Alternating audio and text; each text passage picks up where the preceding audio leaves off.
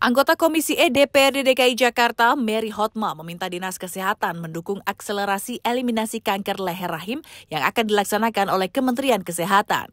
Oleh karena itu, ia meminta Dinas Kesehatan menyiapkan langkah pra-pendeteksian dini kanker serviks di Jakarta dengan menyiapkan anggaran di perubahan APBD tahun 2024.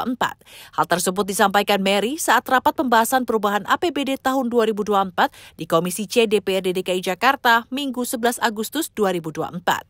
Uh, kita sudah sama-sama tahu bahwa Kemenkes akan melakukan pendeteksian dini kanker serviks dan akan ada DKI eh, Jakarta akan dapat 200 ribu perempuan yang akan dideteksi kanker serviks. Sebagai provinsi yang memiliki penduduk perempuan banyak, kuotanya banyak, wajib ibu asisten, ibu kadis kita memfollow up, mempersiapkan diri atas planning yang sangat baik dari Kemenkes itu.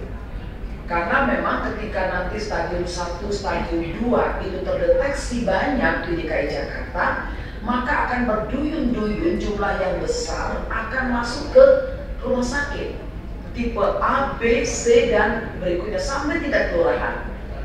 Bayangin 200 ribu, katakan ada 50 ribu aja yang terdeteksi uh, cervix stadium 1 dan 2. Itu sebagaimana repotnya itu uh, RSUD.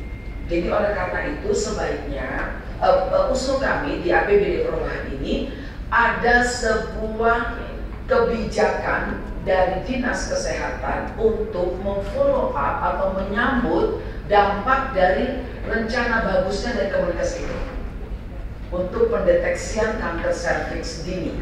Jadi ketika nanti terdeteksi, maka Jakarta sudah siap Menanggapi hal itu, Kepala Dinas Kesehatan DKI Jakarta, Ani Ruspitawati menjelaskan, program deteksi dini kanker serviks yang dilakukan Kemenkes merupakan upaya penguatan layanan primer, tetapi tidak hanya pada kasus kanker serviks, namun juga kanker payudara dan kesehatan ibu dan anak di puskesmas. Ini sebenarnya uh, ini adalah skema transformasi besar dari Kementerian Kesehatan.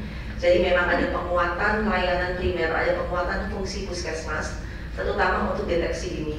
Jadi ada penguatan tidak hanya pada kanker, tapi juga uh, pada kanker rahim, pada kanker uh, payudara, kemudian juga pada kesehatan uh, ibu dan anak. Karena itu semua puskesmas memang sudah dilengkapi dengan beberapa alat yang menguatkan puskesmas untuk melakukan deteksi dini.